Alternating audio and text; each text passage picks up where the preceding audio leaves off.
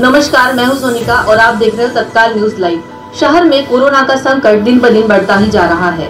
अब कोरोना की तीसरी लहर आने की भी संभावना जताई जा रही है। वहीं कुछ ऐसे लोग और कुछ एनजीओ ऐसे हैं जिन्होंने कोरोना संकट में लोगों के लिए मदद का हाथ सामने बढ़ाया है। वहीं रविवार को कोरोना मरीजों के लिए डॉक्टर बाबा साहेब आम्बेडकर समिति समता, सैनिक दल समता आयुष हॉस्पिटल की ओर से कोविड केयर सेंटर का निर्माण किया है।